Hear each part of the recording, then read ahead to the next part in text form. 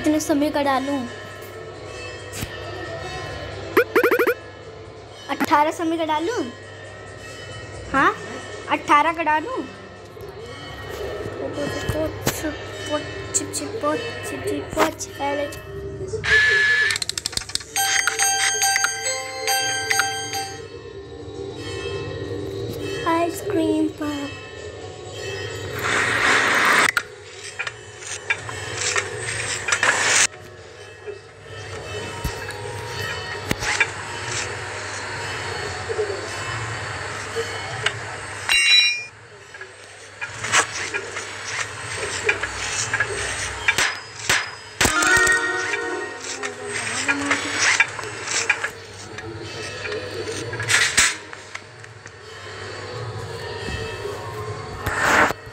待って待って待って待って待って